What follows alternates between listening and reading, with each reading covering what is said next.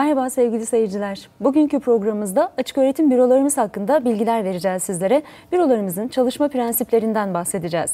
Konuklarımı tanıtacağım ama öncesinde bize nasıl ulaşabilirsiniz onları hatırlatmak istiyorum. Facebook ve Twitter üzerinden bizlere ulaşmanız mümkün. Bir de e-posta adresimiz var sss.anadolu.edu.tr. Bu yollarla bize ulaşabilir, sorularınızı iletebilirsiniz. Konuklarıma hoş geldiniz diyeyim hemen. Merkez Büro Yöneticisi Doçent Doktor Vedat Ekergil. Hoş geldiniz hocam. Hoş bulduk. Nasılsınız? Çok sağ ol.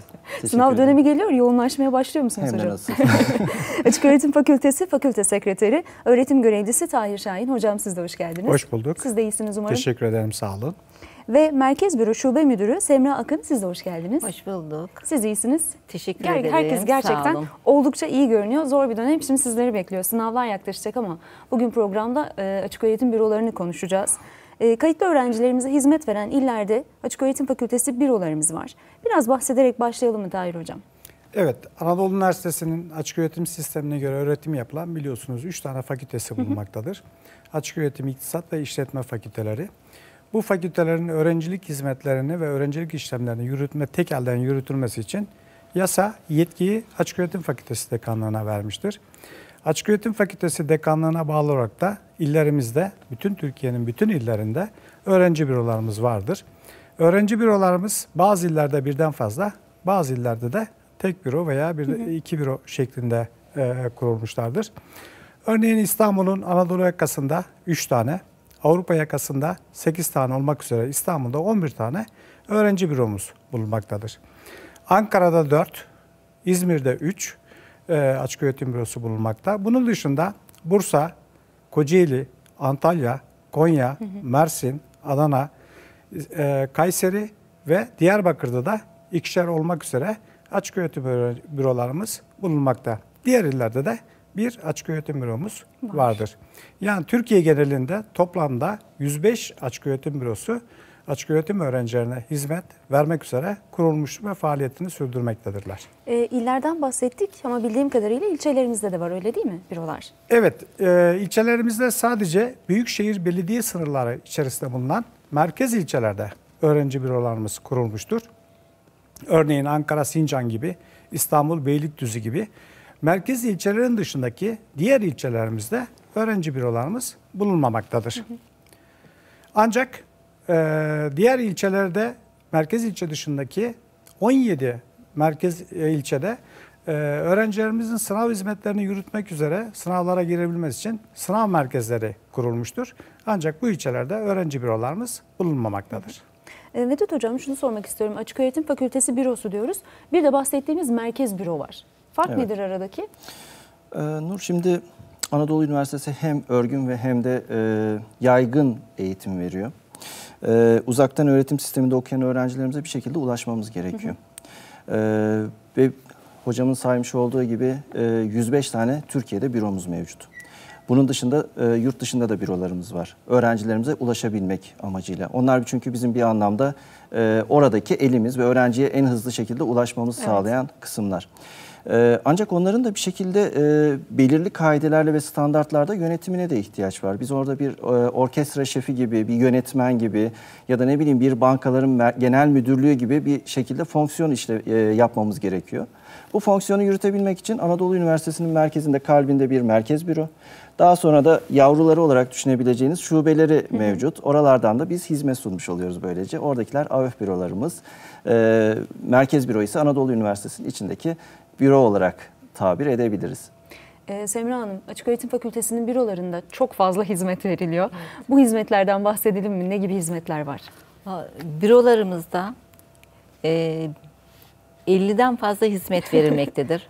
Ancak bu hizmetlerin bazılarını ana başlıkları halinde söylersek, lütfen. bilgi değişikliği dediğimiz, bilgi değişikliğinin adı altında ad soyad değişikliği, nüfus bilgisi, TC numarası değişikliği, e, telefon değişikliği, adres bilgi değişikliği, sınav merkezi değişikliği.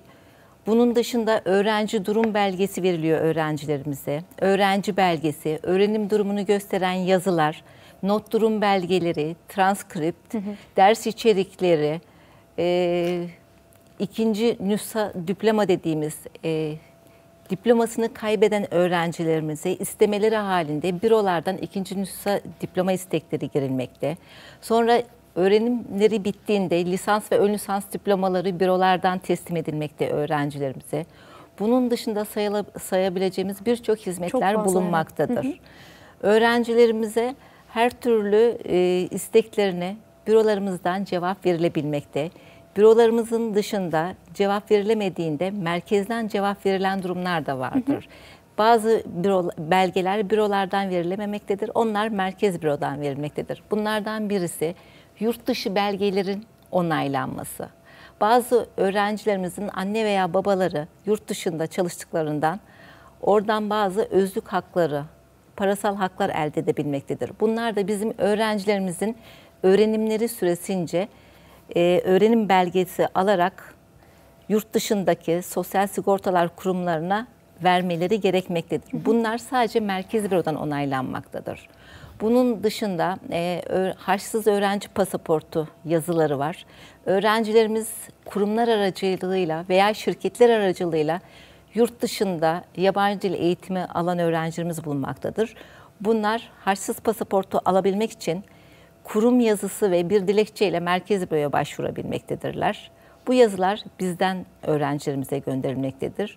Bunların yanında bürolarımızın en yoğun olduğu dönem kayıt onaylaması, kayıt yenileme yapması, muafiyet birazdan da bahsedeceğiz. Evet, evet. muafiyet belge girişlerinin yapılması, taratılması, e, ne bileyim çok çeşitli işlemleri var bunun yanında sayabileceğimiz. Semra Hanım'ı bırakırsanız bu program biter. Çünkü o kadar çok hizmet sunuyoruz ki Çok hizmet var. Evet, Ee, evet. Sırf öğrencilerimiz rahat etsin ve onların e, sorunlarına bir an önce Evet. yardımcı olabilmek amacıyla. e, Birçok hizmeti bir arada sunuyoruz. Oradakiler sadece birer örnek niteliğinde aslında çok daha da fazla. Yani Ee, öğrenci- Sadece bizi belki empati edip birazcık daha bürolarımızı rahat anlayabilirler, bizi anlayabilirler Evet, diye evet. belki koyduğumuz bir süreç. Ee, Ama dediğiniz gibi öğrencinin birebir yüz yüze karşılaştığı kişiler bürolarımızda. Ee, Tahir Hocam şunu sormak istiyorum. İlçelerde durum ne olacak? Yeni bürolar açılması planlanıyor mu? Şimdi daha önce bahsettiğimiz gibi sadece biz Büyükşehir Belediye sınırları olan merkez ilçelerde bürolarımızı açtık. İlçelerde bunun dışında kalan ilçelerde de 17 ilçede sınav merkezi var. Bunların dışında kalan ilçelerimizde öğrenci bürolarının açılması da bazı sıkıntılar yaşanabiliyor. Örneğin yer kiralanması veya bu büroların açılan bürolarda kadrolu memur istihdam edilmesi gibi bazı sıkıntılar yaşanabiliyor. Bunun yerine bir de ilçe sayılarımız biliyorsunuz Türkiye'de çok fazla. Evet. Eğer bunların tamamında ya da büyük bir kısmında öğrenci bürosu açmaya kalktığımız zaman bizim için çok büyük bir külfet ve altından kalkılması güç bir e, yük olarak bize geliyor. Ayrıca öğrencilerimiz zaten açık öğretim bürolarına gitmeden birçok işlemlerini internet üzerinden kendi şifreleriyle ve Halledebiliyorlar, e, halledebiliyorlar, alabiliyorlar. Adres değişikliği gibi, sınav merkezi değişikliği gibi e, işlemlerini ayrıca sınav giriş belgesi alma gibi birçok işlemlerini zaten internet üzerinden yürütüyorlar. Ancak e, kayıt yenilemeyi de biliyorsunuz biz e, internet üzerinden yapıyoruz. Öğrencinin bunun için açık öğretim bürolarına gitmesine gerek yok. Sadece yeni kayıtlarda kitap alma ve diploma almada açık öğretim bürolarına gidiyorlar. Bu işlemleri yapması için de ilçelerde de büro kurulması bence e, şu anda gerek yok. Ama e, internet üzerinden diğer hizmetlerin daha fazla hizmet alabilmesi için de üniversitemizin çalışmaları devam ediyor. E, 2014 yılında açılan yeni bürolar vardı bildiğim kadarıyla. 2015'te devam edecek mi? Evet 2014 yıl içerisinde biz öğrenci yoğunluğunun fazla olan bazı illerimizde yeni bürolar açtık. Örneğin İstanbul Beylikdüzü bürosu 2014 yılı içerisinde açıldı. Biliyorsunuz Beylikdüzü İstanbul'un e, büyük ilçelerinden bir tanesi ve öğrenci yoğunluğunun fazla olduğu bürolardan, e, illerden, bir, ilçelerden bir tanesi. Yine İzmir'de iki tane açık öğretim büromuz vardı. Ee, öğrenci yoğunluğuna bağlı olarak biz üçüncü bir büroyu da basmane bürosu olarak açtık. Bunun dışında Diyarbakır büromuzun yerini değiştirdik. Diyarbakır'da bir tane öğrenci büromuz vardı. Yerini değiştirerek iki tane büro açtık. Birincisi Kayapınar bürosu, diğeri de Dicle bürosu. Ayrıca bazı bürolarımızda eee, daha hizmet verebilmek için büroların yerini değiştirdik. Örneğin yeni mekanlar tutarak ya da alarak Örneğin Şırnak bürosunun yerini değiştirdik ve 2014 yılı içerisinde Şırnak büromuz yeni adresinde faaliyetini sürdürmeye başlandı. Ayrıca Muş büromuzun yerini değiştirdik. Ee, bu bürolarımız yeni adreslerine taşınarak yeni yerlerinde Daha iyi öğrencilerimize daha iyi hizmet vermek için yeni adreslerine taşınmıştır. E, Vedat Hocam bir de yurt dışındaki öğrencilerimize hizmet veren yurt dışındaki öğrenci bürolarımız var. E, bunlardan söz edelim mi? Nerelerde? Tabii ki. Ee, aslına bakarsanız dünyada Türkler nerede yaşıyorsa orada da bizim öğrencimiz var. Çok geniş bir halkada. Olabildiğince en yoğun bölgelerde biz onları bir şekilde e, bürolarla ulaşmaya çalışıyoruz. Ee, Avrupa'da Köln büromuz var, Almanya'da. Ee, neredeyse bütün Avrupa'daki hizmetleri buradan sunmaya çalışıyoruz.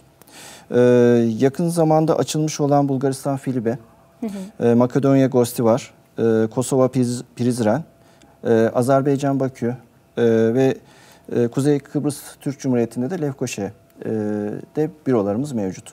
Ben Joker e, büro olarak tanımlıyorum. Ha, İki tarafa birden de koyamıyorum. Ne Türkiye'de ne de e, yurt dışı olarak algılayamıyorum.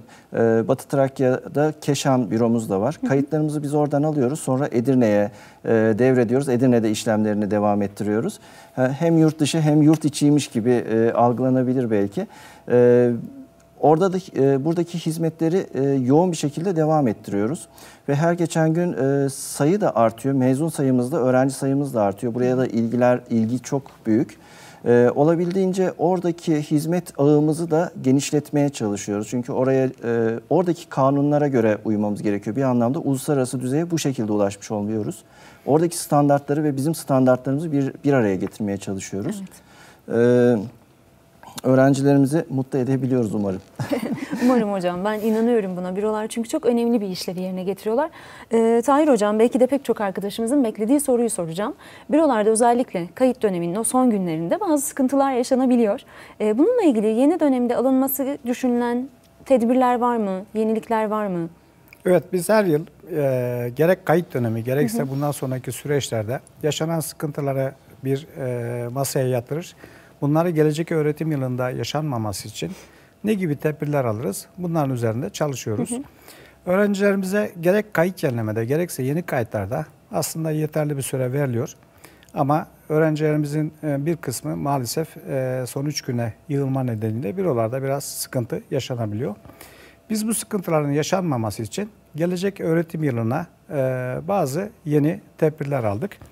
Örneğin 38 büromuzun 2014 yılı itibariyle biz iç ve dış mekanını yeniledik.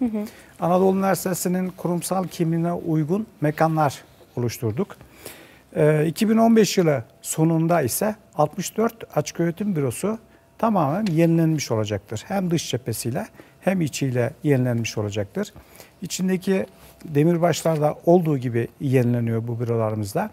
Ayrıca yine bu bürolarımızda banko sayıları arttırılıyor.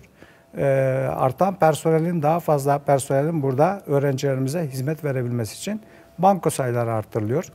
Öğrencilerimizin içeride e, büro içerisinde daha ferah e, ortamlarda hizmet alabilmesi için onlara e, oturabilecekleri veya geldiklerinde işlemlerini daha ferah bir ortamda sürdürebilecekleri mekanlar oluşturulmaya çalışılıyor. 31 Aralık, Aralık 2015 tarihine geldiğimiz zaman e, açık 105 açık öğretim bürosunun %65'i öğrenci bazında baktığımızda ise %81 oranında öğrenciye hizmet veren açık öğretim bürolarımızın tamamen yenilenmiş ve öğrencilerimize daha iyi bir hizmet verecek mekanlar oluşturulmuş olacaktır. Ne güzel. Ee, hocam fiziki bazı değişikliklerden bahsetti Tahir Hocam. Ee, önceki yıllarda bürolarımızda yaşanan bazı sıkıntılar vardı ve onlar için galiba bazı tedbirler alınıyor. Bu sıkıntıların giderilmesi için başka neler yapıldı? Ee, Şimdi Nur, e, biz elimizden geldiğince fiziki ortamı düzeltmeye çalışıyoruz ama her şey fiziki ortamla gerçekleşmiyor. Ee, Bizim e, bölgedeki kayıtlarımıza baktığımız zaman kayıtların belirli yerlerde yoğunlaştığını görüyoruz. Ee, Bu seneki 2014-2015 güz dönemindeki kayıt oranlarına baktığımız zaman Marmara bölgesinin %33 gibi bir oranda kayıt almışız. Evet, Öğrencilerimizin oldukça yoğun. toplam kayıtlarımızın. Ee, bunu %19.6 ile İç Anadolu izliyor. %12 ile Ege, Sonra Akdeniz %11,5, Güneydoğu Anadolu ve e, %8,1, Karadeniz 9,5, işte e, Doğu Anadolu %7,7 gibi oranlardalar. Yani büyük bir çoğunluğu aslında batı kesiminden öğrencilerimizin olduğu anlaşılıyor. Evet. Ee, bunların içine girdiğimiz zaman acaba diyoruz ki en e, yoğun bizim kayıt sorunlarını yaşadığımız ya da kuyrukların oluşmasına neden olan illerimiz neler, nereler diye bakarsanız o zaman da büyük şehirlerle karşı karşıya kalıyoruz. Büyük şehirlere indiğimiz zaman ise şöyle bir bakarsanız İstanbul'un başı çektiğini düşünüyor, görüyorsunuz. Evet. %21.3. Ee, İstanbul'daki büro sayımızı Tahir Hocam az önce söyledi 11. %21'e bölerseniz yaklaşık %2 gibi bir orana düşüyor. Bu e, içine girip baktığınız zaman %3.6'lara kadar yükselen e, bürolarımız var. Diğer taraflarda kalan beyaz bürolara baktığınız zaman ise yüzde bir buçuklarda. Ve biz buralarda kuyruk sorunu yaşamıyoruz. Yaşanmıyor. Herhangi bir sorun da yaşamıyoruz. Ee, diğer illerle de bakarsanız mesela yüzde beş buçuk e, İzmir için mesela üçüncü büro geldi. Ama şu anda çok daha yeni. Öğrencilerimiz tam olarak oraya alışmış değil. Ee, Yüzde 0.4'lerde. Diğer iki büro hala çok yoğun bir şekilde yaklaşık Çalışıyor. yüzde iki buçuklarda çalışıyor. Bu şu anlama geliyor. Yani sayılarla birazcık konuştum belki ama bizim e, kuyruk sorunu yaşadığımız noktalar e, daha çok e, yüksek oranlarda öğrenci talep eden e, Evet. bürolar. Ve biz şunu da yapamıyoruz maalesef. Yani bazı bürolara diyemiyoruz ki ya da öğrencilerimize şuralara gidin, şu illere gidin, Şuradan kayıt şuradan kayıt yaptırın Evet, gibi bir şeyimiz de yok. Öğrenci hangi bürosu kendisine yakınsa oraya gidiyor. Yani büyük işletmeler için düşünün. Yani mesela e, yakın bir zamanda gene seçim düşünülüyor. Seçimde seçim bölgeleri herkesin belli. Nüfustaki kayıtlı oldukları yerler belli. Büyüklük belli. O büyüklüğe göre de siz rahat bir şekilde yola çıkabiliyorsunuz. Diyorsunuz ki şu ilde şu kadar var, bu kadar seçmen sandığı çıkartayım gibi şeyler düşünüyorsunuz. Ama bizde böyle bir şey yok. Yani bir önceki yılın kaydını bir anda %50 artabileceğini görebiliyorsunuz. Onu öngöremiyorsunuz. Çünkü ikinci üniversitemiz var, dikey geçişimiz var, Evet. lisans tamamlamamız var. Farklı farklı kayıt türlerinde farklı sayılarda öğrenci bizi talep edebiliyor. Hani ne mutlu ama e, hani o zaman da bizim fiziki koşullarımız yetersiz kalabiliyor. E, personelimiz yetersiz kalabiliyor ki şurada görmüş olduğunuz 14 şehirde 37 tane büro var. Evet. Ve 37 büroda biz toplam 450 bin kayıt yapmışız bu yıl. Ee, ve bu toplamda %61.2'ye tekabül ediyor. Yani aktif öğrencimizin. Ee, bu kayıt sırasında 257 öğren e, personelle çalışmışız. Bu kadrolu personelimiz. Bu da %50'sine ulaşıyor yaklaşık. Geçici personellerle destek vermişiz. %60'a ulaşıyor. Toplam Türkiye çapındakinin %60'ını biz bu bürolarda çalıştırmışız. Şunu söylemeye çalışıyorum. Siz ne kadar destek verirseniz verin, sayılar netleşmediği sürece biz gelecek sayıyı tam olarak bilmediğimiz sürece problemler yaşıyoruz. Bakın kayıt yenilemede bizim öğrencimiz belli. Biz Evet. onlara göre gardımızı alıyoruz. Diyoruz ki internet ortamında bunları daha rahat bir şekilde yerine getirebiliriz diyoruz. Diğer bir sorunumuz ise e, dünyadaki e, şeyleri de görebilirsiniz. İşte Almanya, Kosova, Makedonya, Batı Trakya, Bulgaristan, Azerbaycan. Evet. E, burada bir anlamda belirli bir coğrafyayı şu anda kapsayabiliyor. E, bizim partnerlerimiz var. Çalıştığımız partnerlerimiz çok fazla. Ee, örneğin bir bankayla çalışmak zorundayız. Bir kargo şirketiyle çalışmak zorundayız. Özellikle yurt dışına e, kitapları göndermek için. E, yurt içinde kitaplarımızı bürolarımıza ulaştırmamız gerekiyor. Burada bir partnerle çalışmak durumundayız. E, ASAL askerlik işlemleri için bizim için e, önemli bir kamu kurumu. E, YÖK, YÖKSİS, işte ÖSYM gibi e, alanda çalıştığımız kesimler var. Bütün bu partnerlerimizi, öğrencilerimiz de bizim için bir partner aslında. Bizim müşterilerimiz belki ama onlarla da uyumlu bir şekilde çalışmamız gerekiyor. O kadar çok milli eğitimi de belki sayabilirim. Aklıma geldikçe sayıyorum kusura bakma. Çok fazla Ee, partner çok var fazla çünkü. partner var ve biz uyumlu bir şekilde çalışmadığımız sürece e, sorunlarla karşı karşıya kalıyoruz. Yani birazcık daha anlayışlı olmamız gerekiyor. Onların zamanında bu işi yerine getirmesi gerekiyor.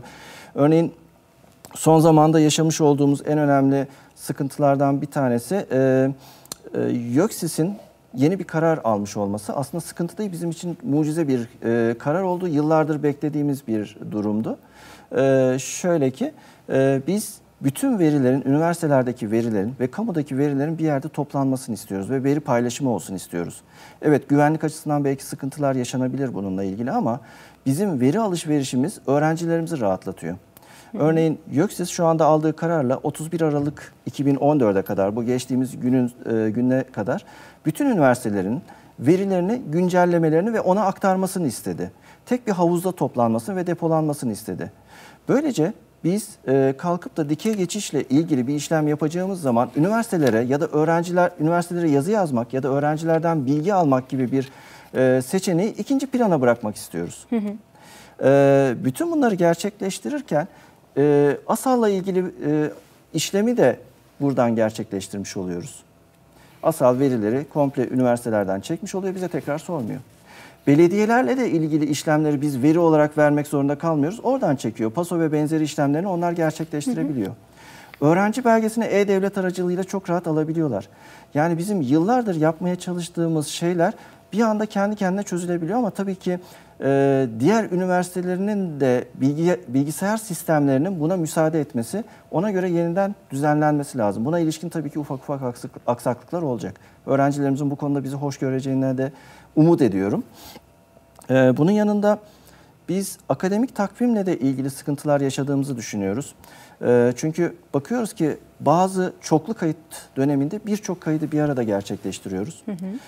Bunları gerçekleştirirken de bütün öğrencilerimizin e, aynı anda yoğun bir şekilde talepte bulunmuş olması ve öğrencilerimizin de son güne maalesef e, kayıtlarını bırakmış olması evet. bizim kuyrukların artmasına neden oluyor akademik takvimi akılcı bir şekilde yeniden düzenleyerek öğrencilerimizin de işte maaş günlerini e, işte son güne bırakmaları durumunda neler olabilir, mazeretli kayıtlarda neler olabilir?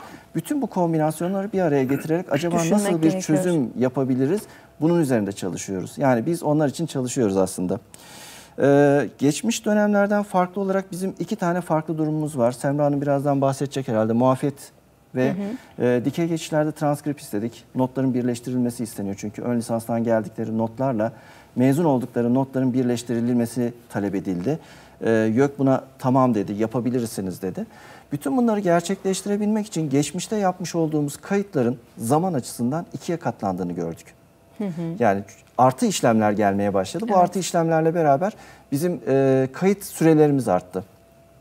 Tabii ki e, Burada bizim öğrencilerimizin de küçük küçük hatası var. Biz olabildiğince detaylı bilgiler vermeye çalışıyoruz. Detaylı bilgilerle e, olabildiğince onları bilgilendirip zamanı daha rahat, daha iyi kullanmalarını istiyoruz. Ama e, maalesef onlar bizim bilgilerimizi dikkatli okumamaları durumunda 3 ya da 4 defa tekrar büroya gelmek ve kuyruğa girmek zorunda kalıyorlar. Evet, evet. Bu hem bizi üzüyor hem kendilerini çok üzüyor Kendileri ve sinirler geriliyor. Kaybı. Çok büyük bir zaman kaybı. Bizim için, babam için, e, öğren diğer orada kuyrukta bekleyen öğrenciler için ve bürolar için çok büyük zaman kaybı. Bunların da bir şekilde önüne geçmemiz gerekiyor. Kendimizi belki daha iyi anlatmamız lazım. Bu sene bol miktarda SMS çektik öğrencileri bilgilendirmek anlamında. Ama tabii ki hani o da öğrencilerimizi sıktı. Bu kadar bilgi bombardımanı niye bu kadar bize mesaj atıyorsunuz bu kadar çok diye. mesaj atıyorsunuz? Ee, bir orta kararını bulmamız gerekiyor herhalde. Ee, büro personelimizde de ilgili sorunlar olabilir çünkü hizmeti verenler onlar ve e, açıkçası çok e, fedakarca çalıştılar bu dönem. Yani benim gördüğüm geçmiş dönemleri bilmiyorum. Hı hı. E, yeni gördüğüm şu gecenin ikisine kadar çalışan birçok bürom var ve sabah 8.30'da tekrar büroyu açıyor. Önceki dönemlerde ee, de öyleydi hocam. Ben hatırlıyorum programlarımızdan. Evet, büyük ihtimal öyle. Hı hı. Ee, bu az önce saymış olduğum yoğun kuyruğun olduğu bürolarda bu daha çok gerçekleşiyor. Hı hı. Ve bu gerçekleşmede e, düşünün büyük bir şehirdesiniz, İstanbul gibi bir yerdesiniz. Gece 2'de e, bürodan çıkıyorsunuz, 3'te, 3.30'da belki evinize varıyorsunuz. Sonra tekrar oraya tekrar. gelebilmek için tekrar 6'da, 7'de çıkıyorsunuz. Bir anlamda uyumuyorlar bu Hı-hı. insanlar. E, bu kadar fedakar bir şekilde çalışırken de tabii ki onların belki e, daha rahatlatılması ya da daha... E, yöntemler belki gösterilmesi lazım. Çünkü e, belirli bir süre sonra yorgunlukla, stresle e, farklı açılardan bakmaya başlıyor. Hı hı. Karşıdaki hizmet bekliyor, bu taraftaki insanlar yorgun. E, empati kurulması gerekiyor belki. E, olabildiğince bunlara da katkı sağlayıp hizmet içi eğitimlerimizi de yoğunlaştırıyoruz. Hı hı. E, çok konuştum galiba ama. Yok rica ederim hocam. En büyük e, sorunlarımızdan bir tanesi de sistem çökmesiydi. Hı hı. E, öğrenciler tam kuyrukta bekliyor ama bazı durumlarda bağımda ya da bizim e, oradaki bellekler veya sistemle, internetle ilgili sorunlar da yaşayabiliyoruz. E, yarım saatlik bir sistemde güncelleme ya da sistemdeki bir buradaki elektrik arızası o tarafa çok farklı şekilde yansıtıyor. Ee, saatlerce bekleyen insanların bir yarım saat daha bekleyin demek Evet. çok büyük bir sıkıntı. Gerçekten Mesela öyle. Hatay'da yaşadık onu. Ee, bizden kaynaklanmadı ama e, bir anda Hatay'da e, elektrikler kesildi. E, tüm şehirde ve sabah saatinden 11'e kadar elektriklerin kesilmiş olması insanların gece e, saatlerinde dörtlerde kuyruğa girdiğini düşünürseniz Evet. sinirleri çok gerdi. Bizden kaynaklanmıyor ama biz onların e, stresiyle karşı karşıyayız. Bunları da bir şekilde aşmamız gerekiyor Evet. herhalde. Son güne kalmamak gerekiyor Evet, aslında. En güzeli, Son en güzeli, güne en büyük, sıkışmamak en büyük gerekiyor. mesajlardan bir tanesi bu. Evet. Kesinlikle bu. Vedat Hocam'a ilave olarak Buyurun hocam. bazı şeyler de söylemek gerekiyor belki. Şimdi biz Vedat Hocam akademik takvimin iyileştirileceğinden bahsetti. Ben mekansal iyileştirmeden bahsettim ama zaten biz kayıt döneminde öğrencilere kolaylık sağlamak için birçok tedbiri almış bulunuyoruz. Örneğin her kayıt türünde bir cumartesi günü mutlaka açık öğretim büroları açık tutuluyor. Evet, doğru. Öğrencilerimiz, dışarıda olan çalışan öğrencilerimiz ya da ilçede, köyde olan öğrencilerimiz gelsin işlemlerini o cumartesi günü yapsın diye. Yine hiçbir resmi kurumda olmadığı gibi biz sabah 8.30, akşam 5.30 mesai saatleri içerisinde açık öğretim bürolarımızı sürekli açık tutuyoruz. Öğle tatilinde bizim açık öğretim bürolarımız açık ve öğrencilere işlemlerini yapmakta. Yine kayıtlarda eğer öğrencilerde bir sıra oluşmuş ise son öğrencinin kaydını alıncaya kadar biz bürolarımızı açık Evet. tutuyoruz. Yani mesaimiz bitti artık kayıt almıyoruz diye kesmiyoruz. Öğrencilerin kayıtları son öğrencinin kaydı bitesine kadar devam ediyoruz. Gelecek öğretim yılında aldığımız tedbirlerden bazıları yine onları da sıralamak gerekirse şöyle. Biz e, yenileme çalışması biten 48 açık öğretim büromuza sıramatik takılması için çalışma başlattık. Şu anda takılıyor. Ve bu 48 büroda sıramatik takıldığı zaman e, Mart sonuna kadar bu çalışmalar bitecek. Öğrencilerimiz hangi işlemi yaptıracaksa, öğrenci belgesi mi alacak, yeni kayıt mı yaptıracak, kayıt mı yeniletecek, diploma mı alacak, kitap mı alacak, onlardan sıra numarasını alıp sıra numarasını aldıktan sonra da kendisine muhtemelen sıranın ne zaman geleceği ya da kaç önünde öğrenci var bunu bilerek Evet. gerekiyorsa bu zaman zarfında başka işlemleri varsa onları da yapabilecek ve sırası geldiğinde açık öğretim bürolarından işlemlerini İşlemleri yaptırıp halledecek. gidecekler. Ayrıca bütün bürolarımıza 105 açık öğretim bürosuna bu yıl biz e, güvenlik kamerası taktırma işlemi başlattık. Onun da çalışmalarının muhtemelen e, Haziran sonuna kadar, 2015 Haziran sonuna kadar tamamlanacaktır. Ayrıca e, bürolarımızın personel eksikliğini büyük oranda tamamladık. Çok az bir büromuzda personel sıkıntımız var. Ayrıca bürolarımızın internet hızını hocam bahsetti. O internet hızını bu yıl mutlaka arttırmak için çalışmalar başlatıldı. Dolayısıyla öğrencilerimiz internetin yavaşlığından ya da e, büro personelinin internetin yavaşlığından dolayı kayıt süresinin uzamasının önüne geçilmiş, Geçilmiş olacak. olacak. Ayrıca e, öğrencilerimizin daha hızlı bu şekilde kayıt alınmasını sağlandığımız gibi büro personelinin de hocam bahsettiği gibi eğitimine çok önem veriyoruz. Büro personelinde biz e, öğrencilerimizle ilişkilerini daha düzgün, daha iyi şekilde yürütebilmeleri için eğitime tabi tutuyoruz. Bunlardan da bahsedeceğiz. Ne kadar güzel. Ee, hocam Semra hocamı birazcık konuşturmak istiyorum. Ee, şunu soracağım. Şimdi büroların yoğun olarak çalıştığı iki konu var. Bunlardan birisi de af. Ee, afla ilgili e, süre yak- yaklaşıyor mu? Ne zamandır bir hatırlatalım mı? Şimdi şöyle söyleyeyim ben 6569 sayılı kanun resmi gazetede 26 Kasım 2014 tarihinde yayımlanmıştır. Bu kanunda der ki yüksek öğretim kurumlarından ilişiği kesilen öğrenciler bu kanunun yayımı tarihinden itibaren 5 ay süre içerisinde kurumlarına başvurabilirler. Başvuracak. Böyle olunca da e, bizim 26 Kasım 2014 tarihinden 5 ay süre saydığımızda 27 Nisan 2015 tarihi AF'ın son başvuru tarihidir. Nisan ayı yani. Evet 27 Nisan 2015 tarihi son başvuru tarihidir. Öğre aftan yararlanmak isteyen öğrencilerimiz bu tarih sonuna kadar başvurmaları gerekir. Ancak burada bahar döneminde aftan faydalanmak isteyen öğrencilerimiz 23 Ocak 2015 tarihine kadar başvurmalılar. Yani bir deyişle 23 Ocak 2015 tarihine kadar aftan başvurmuş olan öğrencilerimizin kayıtları bahar dönemine yetişecektir.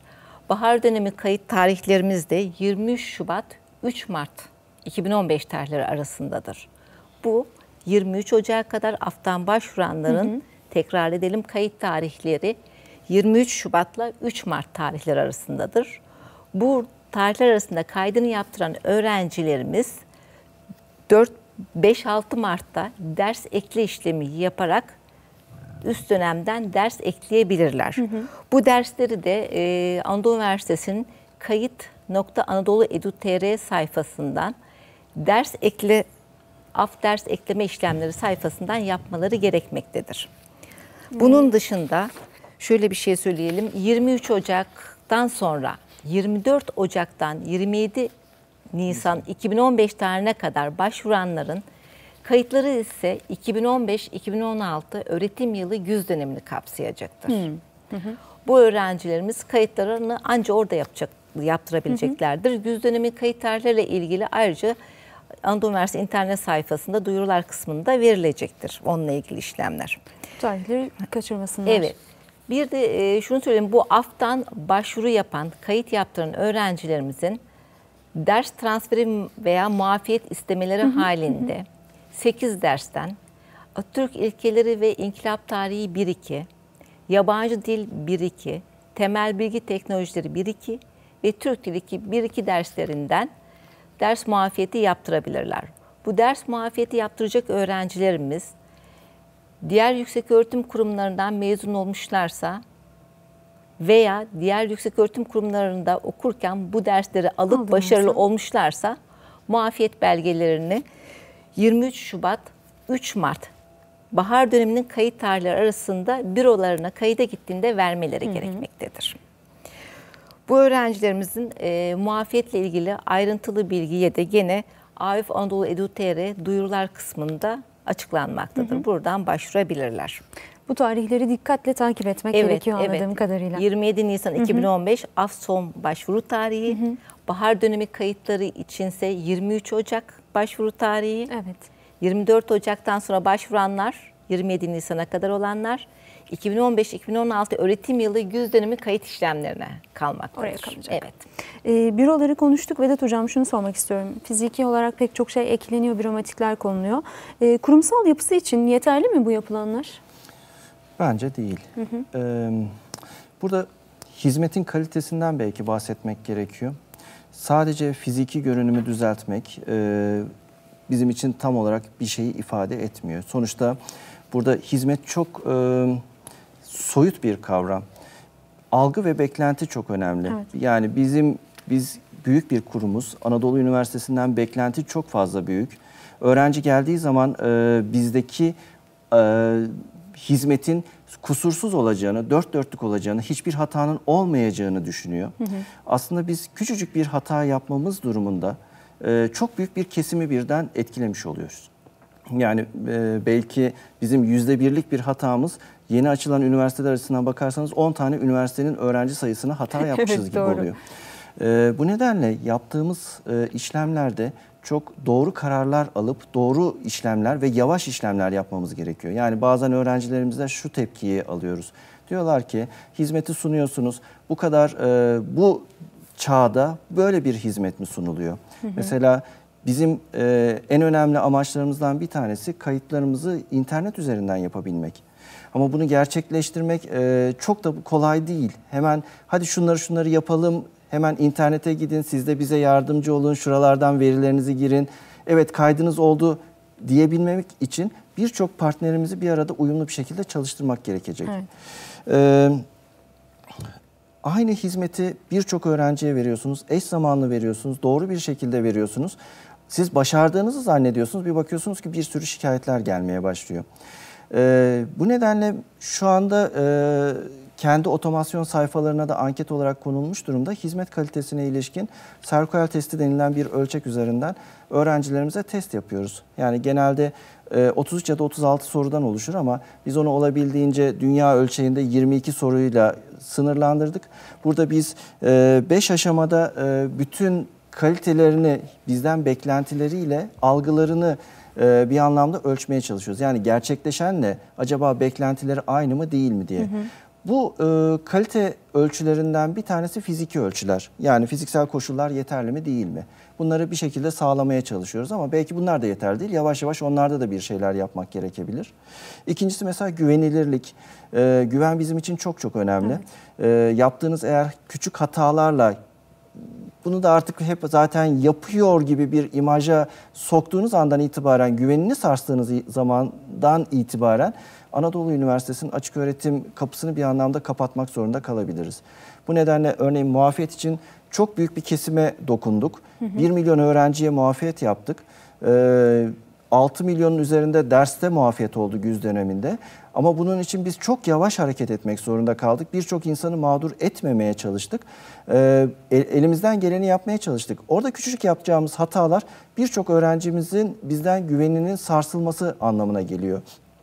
Güvenlik önemli. Hı hı. Ee, güvenlik deyince güvenlik kameralarından bahsetmiyoruz. Hani onlar fiziki koşulların içinde söz konusu ama e, bu şu anlama geliyor. Büro çalışanlarının bilgili, nazik olması ile onların e, öğrencilerimize güven ve itimat duygusunu kazandırması.